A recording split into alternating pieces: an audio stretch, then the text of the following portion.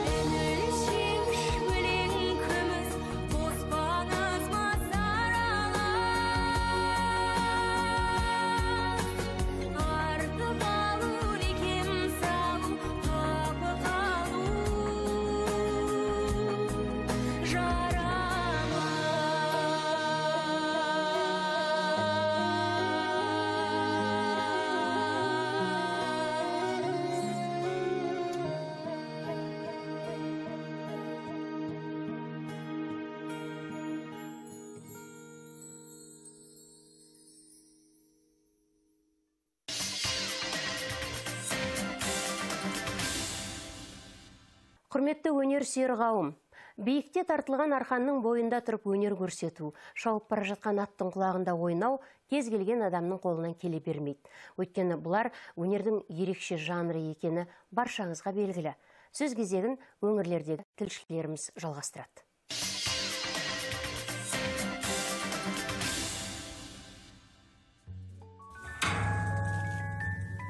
Лоран бигоның шағын циркінде дәл осындай онға жуық қуыршақ әртістер өнер көрсетеді. Мұнда түрлі аңдар мен жәндіктерді акробаттар мен сайқы мазақтарды да кездестіруге болады. Жоба авторы сиқырлы саусақтармен оларға жан бітіреді. Euh, мен үнемі ізденіс үстіндемін. Көрермендердің көңілінен шығуға барымды саламын. Барған жерімде түрлі дыбыс шығаруға болатын ойыншықтарды іздеп табуға тырысамын. Үстел үстіндегі қойылымның арнайы жанры жоқ. Табақтай ғана аренада өнер көрсететін кейіпкерлер жіпке тартылған кішкентай ойыншықтар. Олар бір біріне соқтығысу үйкелесу арқылы түрлі дыбыстар беріп әдемі музыкалық әуен пайда болады. Бұл әртістердің айтқысы келгені әр адам өзінше өнерлі өзінше талантты деп айтуға болады. Әр адамның қолынан әртүрлі өнер келеді деп соны көрсет, көрсетіп отыр бізге. Француз режиссері әрі кәсіби музыкант лоран бигоның бұл іспен айналысқанына 15 жылдан асыпты. Ұмыт болған өнерді қайта жаңғыртсам дейді ол. Алдағы күндері өнерпаз алматы мен шымкент көрермендеріне де өз қойылымдарын ұсынбақ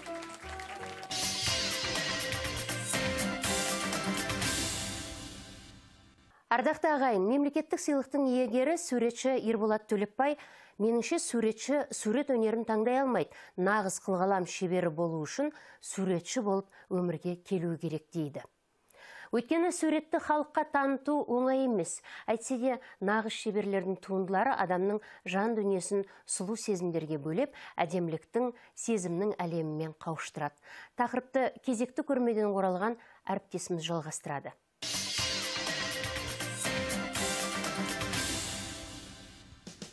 Арвес галереясы көп ұзамай көрерменімен қайта жүздесті. Өнер ордасы өзінің жаңа шығармашылық маусымын суретші георгий макаровтың жеке көрмесімен ашты. Жұмыстарын аңыз желісінде жазған автор көрме қонақтарын ертегілер еліне сапар шектіргендей. Бұл көрме маған ерекше ұнады құдды бір аңызбен араласып ғажайып әлемнің ортасында жүргендей әсер алдық сиқырлы суреттерге қарап балалық шағымызда оқыған ертегілер мен аңыздарды есімізге түсіріп жатырмыз оның идеясы мен бағыты өзгелерге ұқсамайды георгийдің көрмесін дәл осы жерден бірінші рет тамашалап тұрған жоқпыз бүгінге дейін ол бұл галереямен шығармашылық қарым қатынасын үзген емес мұнда автордың отызға тарта туындылары қойылған. Олардың өзі бірнеше тақырыпқа топтастырылған. Кенеп бетіне кескінделген тарихи бейнелер суретшінің көрермен жүрегіне жетудегі таңдаған тура жол іспеттес. Выставка э, называется мен өзімнің аңыздар аллеясы деп аталатын көрмемде ата бабадан қалған асыл мұраларды сурет арқылы бояу сиқырымен көрсеткім келді. Себебі оқыған дүниені көзге елестету арқылы тереңірек түсінеміз ғой.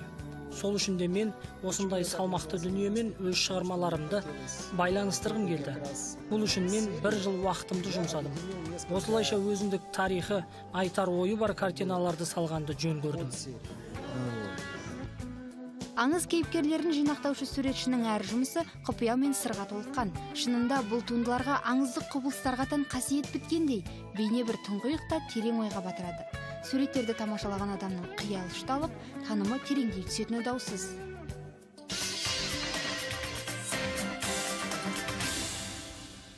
Құрметті көрермен, таяуда 13 жасар жас әнші Тамирис Жанғазинова Болгарияның Шумен қаласына барып, халықаралық талантты жас өспірімдердің арасында өткен ән байқауынан жүлдемен оралды. Баланың бойындағы өнердің ұшқынын лаулатып, оны биікке талпындырып, нақты нәтижеге қол жеткізу жоғары талап, толассыз еңбекпен ғана жүзеге асатынын жақсы білеміз. Бүгін Тамирис Жанғазинова, анасы Күлпаш Жанғазинова ханым екеуі біздің студиямызда қонақта. Қош келдіңіздер, қайырлы таң. саламатсыз ба Тамирис айналайын, өзіңді көргеніме қуаныштымын. Байқауға өзің секілді жастағы өнерпаздар қатысты ма? Қанша бала қатысты? Бұл байқауға 97 бала қатысты. Менің тобымда 39 бала болды. 13 пен 16 жас аралығында. Жақсы. Қанша э, жасыңнан бері ән айтып келесің? 5 жасымнан бастап ән айтып келемін. Әнді кім үйретті ең алғаш? ең алғаш мен айман студиясында оқушылар сарайында ән үйірмесіне бардым. Ұстаздарың болды иә? Иә әлия аюп сабақ берді бізге. Солай ма? Өте жақсы. Күлпаш енді балаңыздың бойындағы ә, осындай дарынды қабілетін ә, ата ана балаға сыншы дейді ғой. А- алғаш байқаған өзіңіз боларсыз? Иә. Томирис өзі туғалы туғалы бері өзі. Ол кезде ең бірінші томиристің шыққан конкурс үш жасынан бастап шыққаны. Қазақтың ол кезде аса нелер жоқ болатын. Миса чаровашка телевизорға реклама шыққан кезде қызым барып телевизорда көрсететін. Мама жа кішкентай болса да мында конкурсқа барғым келеді. Сол кезде томирис екі жаста ма сондай да болатын үш жасқа келесің сол кезде апарамын деп үш жастан аса, аса үш жарым жасында миса чаровашкасына барып осы международный конкурсына барып бірінші орын алып қайтқан кәдімгі телевизорда көрсетті. Үш жас төрт жас бес жас деп. Ары қарай үш жыл осы миса чаровашкадан басталып ары қарай ән жағынан би жағынан бәрін өзі байқалып тұратын. Суретке түссе де үйге тұрса да музыка ойнап жатса да телевизордан қарақат апайымыздың әнін жақсы көретін. Соны аңылдап ана айналайын деді. Сол әнін қатты айтып отыратын. Сол кезде айтатын осы қызым «А, болатын қыз шығар деп байқағанмын өзім. Иә. Томирис мына болгариядағы байқауға кім дайындады әніңді кім жазып берді?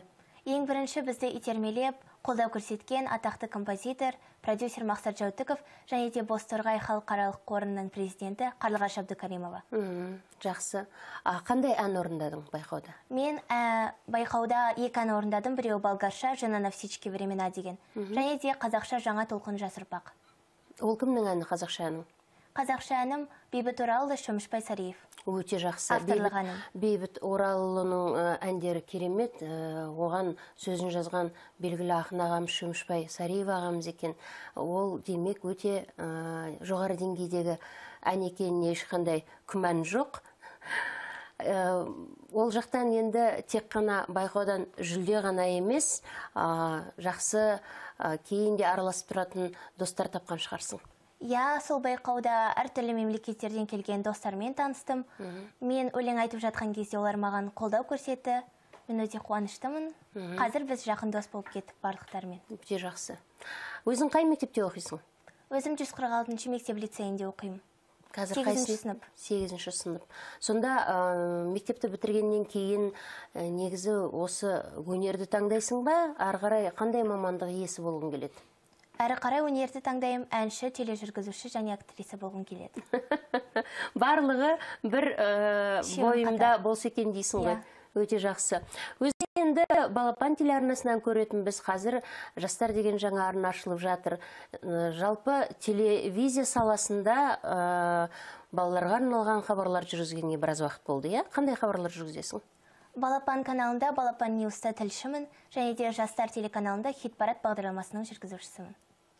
Хит парадта сонда кәдімгі біздің белгілі эстрада өнер ә, әншілердің Бейнебаяндарын. бейнебаяндарын баяндайсың. Иә. Өте жақсы. Қандай әндер ә, айтқанды ұнатасың? Эстрадалық ән айтамын әртүрлі қазақша ағылшынша. Негізі ә, алға қойған қандай тағы жоспарың бар? Мысалы үлкен үлкен халықаралық тағы да байқаулар бар ғой. Мынау Иә. әрине сенің жас деңгейіңе ә, қарағанда бұл өте жоғары байқау. Меніңше ә, 16-17 жасыңда да ә, алға қойған мақсатың бар шығар Иә. осыған қатыссам деген. 16-17 жасымда славян базарына бару деген ой бар. Мгм. А 2015 жылы италияға барғым келеді халықаралық конкурсқа. Анасы сіздер ата анасы дайынсыздар ма? Томиристі сондай үлкен конкурстарға апаруға? әрине қолдаймын қызым бар жағынан материалдық жағынан кім көмектеседі томирис? Әкесі ғана жұмыс істейді. Мен өзім осы қызым өнер жолда жүргенмен мен жұмысымды тастадым. Осы қызымды апарып алып келіп. Демек қызыңыздың ә, продюсері ретінде жүрсіз? Иә. Томирис телевизияда жұмыс істегеніне біраз уақыт болыпты. Тәжірибеде жинақтап қалдың. Ә, қалай телевидение саласы өзіңе ұнай ма? Телевидение саласы өзіме қатты ұнайды. Несімен ұнайды? Ә, маған ұнайтын себебі мен сахнаға шыққан кезде өзімді жақсы сезінемін. Қолдап қолпаштап кезде халықты қуантқанды жақсы көремін қатты. Сіздерде ә, тұқымдарыңызда әулеттеріңізде өнерлі жандар бар шығар үлкен аталарында? Иә мен әкем марқұм болып кетті екі жыл болды жетпіс екі жасында. Ол кісі өте э, өнерлі дарынды домбыра тартып э, баян тартқан кезде ауылда болса да біз қоян кез қоян көз ауылында тұрдық. Жохан деген э, жохан уәлиханов қоян көз. Сол жерде жаңағы мықты әншісі домбыра гармон тартқанда э, мықты ойнайтын. Томиристің кішкентай кезінен қабілетін байқап э, әкем звондап бас жүлде алып жатса да не етсе де хабарласып звондап отыратын. Өлердің алдында осы әкем айтып кетті тастама қызыңды жетелектеп жүруің керек деп маған осы сөзін айтып кеткен болатын. енді әкем оның бәрін білгеннен айтып отырған шығар енді. Томирис э, өзің мысалы ән таңдаған кезде э, кімнің көмегіне жүгінесің? Анаң айтады ма немесе э, өзіңе тек осы ән ұнайды деп э, соны айта бересің бе? Ішкі жан сезімің қандай әндерді таңдағысы келеді мысалы? Өзіме ұнаған ән болса мен анаммен ақылдасып немесе вокал пәнінен беретін мұғаліммен ақылдасамын. Мгм. вокалмен айналысасың. Кім мұғалімің наталья владимировна. Жақсы. Ол кісі өзінің ісінің шебері шығар. Иә өзінің шебері. Жақсы. Негізі мына музыкалық терминмен айтсақ октаваның қанша октава дауысың қанша ә, нотаға дейін ала аласың? Э, үш октава октава жақсы. негізі музыкалық сауатың бар ма? Э, жоқ. Өзім өзімнің даусым Иә. Музыкалық мектепке бармаймын тек қана студияға ғана барамын. Мақсат жайтықов ағамыздың студиясына барамыз. Мақсат жауатыковтың жетісіне үш рет барамыз. Ә, кәдімгідей ә, пианиномен де дайындал- дайындалады вокалмен де дайындалып жатамыз мұғалімдерің мектебің мақтан тұтатын шығар бұндай қызды? Иә мақтан тұтады. Кез келген байқауға барған сайын қолдап қолпаштап отырады. Қарсы алып алды бізді жаңа болгариядан келетінімізді білм- білмей школ мектепке барсақ. Мұғалімдары оқушылары то- томирисқа тосын сый жасап шарлармен гүлдермен ә, сондай жақсы қарсы алып алған кезде тосын сый болып қуанып қалдық. Томирис енді таңертеңгі көрермен өзіңнің мына әдемі киіміңмен даусыңды естіп енді ән тыңдағысы келіп отыр. Қандай ән иә орындайсың болгарша жана на все времена деген әнді айтып берейін. Болгариядан жеңіп келген. Жақсы. Бабу ми фатал матрожена, тяжена на всички времена. Ефина бум, криец, що ж ти грина до сегея, та но там цева нощі пясума. Бо собі би забраве коме фо, Паде звучати старий джазестон. Білачин глас, Врешта, оф, мінувати не на сошнус, хочете стара на домака. рахмет томирис айналайын ә, өнерің өрлей берсін. Сізге анасы ретінде күш қайрат тілеймін. Рахмет. Қызыңыз тіл көзден аман болсын. Рахмет. рахмет. Қымбатты көрермен әлемнің мәдени жаңалықтарына құралған ақпараттар легі сіздердің назарларыңызда.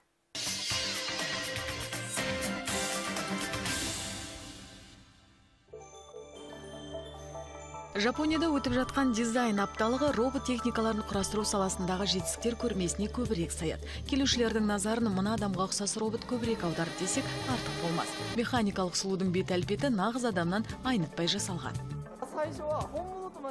Басында мен оны әйел екен деп қалдым. Жақынырақ келіп қарасам кәдімгі қуыршақ болып шықты. Кешірім өтінемін андроид дегім келді. Сондай ақ көрмеге дизайнерлік жұмыстар да қойылған. Олардың қатарында өткен мен болашақ тақырыбындағы инсталляциялар да бар. Токиода өткен апталық кезінде көрмеге 120 мыңнан аса адам келіп үлгерген. Чилидің бір топ экологтары араларды қорғайтын құтқарушы компания қызметін іске қосты. Өйткені соңғы жылдары ғалымдардың зерттеуінше еңбекқор аралардың қатары шамамен 40 пайызға сирей түскен. Экологтар бұған адами фактор ықпал етіп отыр деген пікірді ұстанады егер біз химиялық тыңайтқыштар мен дәнді дақылдарды өсіруді тоқтатпасақ бал жинайтын аралардың жағдайы қиындай түседі. Мәселені жедел шешкеніміз жөн. Экологтар аралар әскерінің тарап кетуі өзекті мәселе екенін айтып дабыл қағуда өйткені адамзат жақсы егін жинаймын деп көбіне химиялық тәсілдерге жүгініп келеді. Ал оның кесірі алқаптардағы тірі организмдерге тиюде. Қазір экологтар чили тұрғындарын көбірек гүлдер отырғызып тұңғыш ұлттық аралар қорығында ұялар жасақтауға шақырады. Британияның рок музыканты стинг алғаш рет сазгер ретінде сахнаға шықты. Бұл оның 11 күй табағындағы соңғы кеме атты шоуы. Сахна саңлағы шымылдық көтерілген соңғы минуттарда қатты толқыған жасырмайды. Өйткені стинг сахнаға авторлық музыканы ғана емес өзінің өмір баянын суреттейтін туындыны алып шыққан. Менің туып өскен өлкем өте керемет жер. Кемелерді жөндеуден өткізетін орын болғандықтан үнемі маған театр сахнасы көзіме елестейтін. Менің музыкамның негізінде осы өлкенің тыныс тіршілігі жатыр. Мюзикл көрсетілімнен кейін стинг сахнаға шығып барлық актерлерге алғысын білдірді. Ол өзінің балалық шағына ерекше сезімдерін көпшіліктің жүрегіне жеткізе алды деп сенеміз.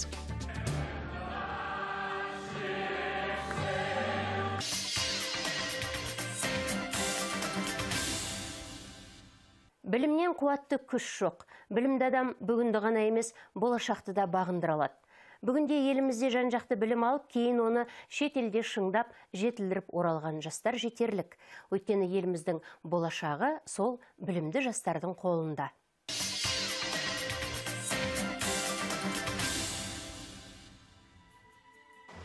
Қазір дүние жүзінде үш мыңға жуық тілі болса оның жеті мыңнан аса диалектісі бар. Әлем халқының жартысы екі және одан да көп тілде сөйлейді. Көп тілділік өзге тілдерді үйренуді жеңілдетеді. Қарым қатынас шеңберін ұлғайтып басқа мәдениеттермен танысуға мүмкіндік береді. Еліміздің дамуына үлес қосып жатқан жастар арасында бірнеше шет тілін меңгеріп алғандар аз емес. Солардың бірі раушан шамшырхан республикалық тіл дарын байқауының жүлдегері. Тоғыз тілді біледі төртеуінде еркін сөйлей алады. Қазақ орыс ағылшын неміс француз итальян испан түрік және жапон тілдері раушан мұнымен шектелмейтінін айтады. Болашақта қытай және араб тілдерін үйренбек. Ағылшын тілін ол бесінші сыныптан бастап оқыпты. Үш жылда оны толығымен меңгеріп алған. Тоғызыншы сыныптан бастап құрбы достары көршілер мен таныстарының өтінішімен сабақ бере бастаған. Кейіннен тіл үйрететін мектепте еңбек еткен. Қазір тілді тез меңгеруге арналған оқу әдістемелік құрал жазуда. Мен ә, тілді өзінің бір ә, сапалы болып шығу үшін ә, әрбір күнге бөліп қойған болатынмын. Жексенбі күні кішкене ә, мысалы жапон тілін оқимын жапон тіліне иероглифтерін жазып одан соң оны қайталап дүйсенбі күні итальян тілін оқимын итальян тіліне ә, бір үш төрт сағат емес екі үш сағаттың өзі жеткілікті екі үш сағат дегенде бірден екі үш сағат емес ә, жарты жарты сағаттан да болады. Егер шаршап кетсем айналып келіп қайтадан оқимын. Ал ә, мысалы сәрсенбі күні мен ә, қазіргі кезде түрік тілін оқып жүрмін. Қытайлықтардың еншісіндегі шағын мұнай газ компаниясының директоры әділ байтуголов жұмыс барысында шет тілін жиі қолданады. Әділ төрт тілде сөйлейді. Орыс әжесінің қолында өскен ол қазақ тілінде 11 сыныпқа дейін еркін сөйлемеген. Намыстанған жас жігіт қазақ тілін үйреніп сонымен қатар ағылшын түрік тілін меңгеріп алды.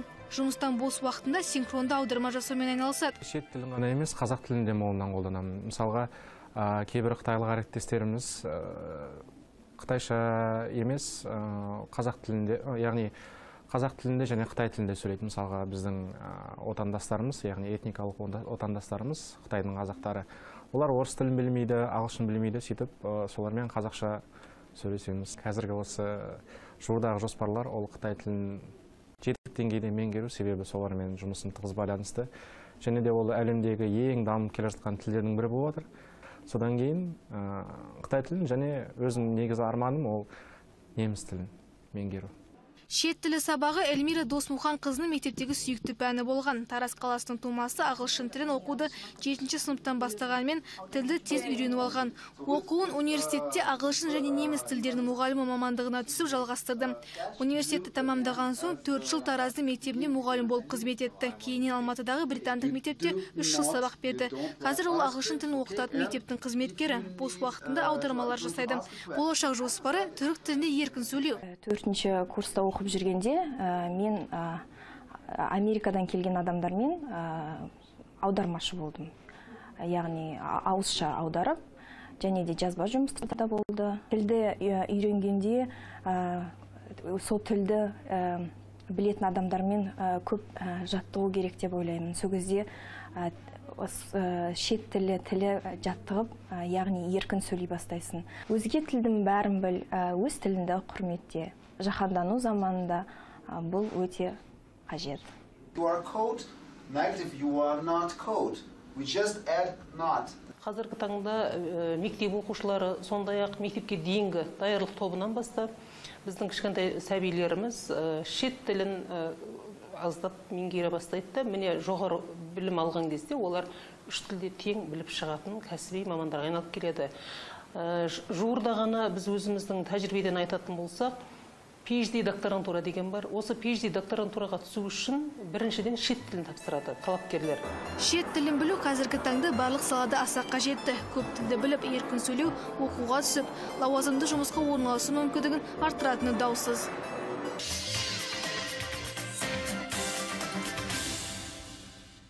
Құрметті көрермен, бір кезде біздің апаларымыз бен әжелеріміз жүннен көздің жауын алатын түрлі қолөнер бұйымдарын жасайтын. Олардың арнайы білімі болмаса да, оны өзінен үлкен апайларынан, ата-аналарынан үйренетін. Ынта мен ықылас болса, жүннен күнделікті тұтынатын бұйымдарды жасау қиын емес екен. Оған әріптесіміз көз жеткізіп қайтқан еді.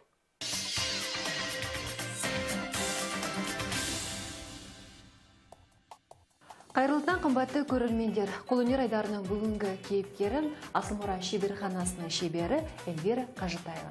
Қайырлы таң. Сонымен Эльвира, сіз бізге бүгін қандай өнеріңізді көрсетесіз? Бүгін біз ә, жүннен ә, шляпа жасаймыз. Ә, қазіргі күз мезгілі түскеннен кейін бұл шляпаға сұраныс өте көп. Бас киімді дайындау үшін бізге қандай заттар қажет?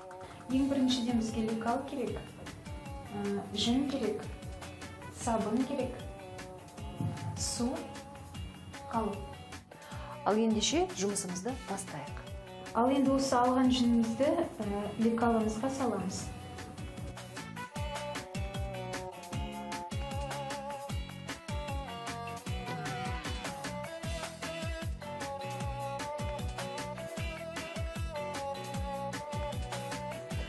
Сонымен менің бір байқағаным ә, бұл үлгіні дайындау үшін ә, мына қолымыздағы жүнді салудың өз әдісі бар екен. Та көрсете кетсең көрермендерімізге. Ә, жүннің ішін бір қолымызбен ұстаймыз и бір қолымызбен тартамыз. Біз ә, осы ә, етегіне сәл жетпей көлденеңінен саламыз.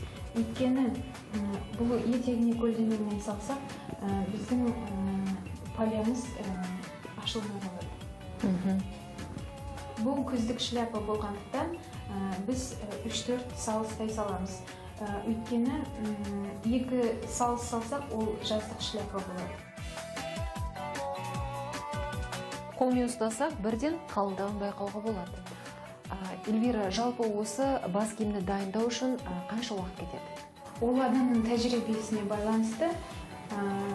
Егер де бұрыннан нағыз шебер болса, ол бір 2-3 сағатта м, дайын болады. Сонымен біз келесі кезеңге өтеміз. Ол үшін Эльвира бізге түсіндіріп өтсін. Ә, біз енді бұл салған шляпамызды сулаймыз. Ә, міндетті түрде синтетика мата болу керек. Ә, Сабынды аламыз.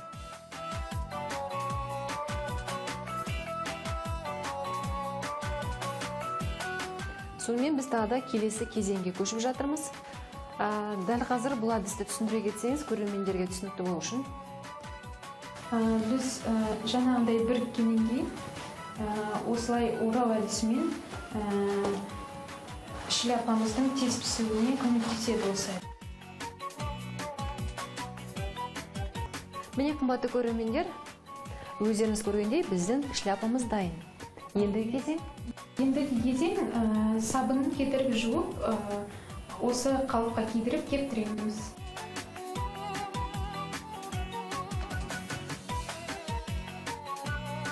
Қымбатты көрермендер, сіздерге мынандай бас киімді дайындап көрсеткен Асылмұра шеберханасының қол шебері Эльвира Қажытаева. Эфирде келесі кездескенше сау болыңыздар.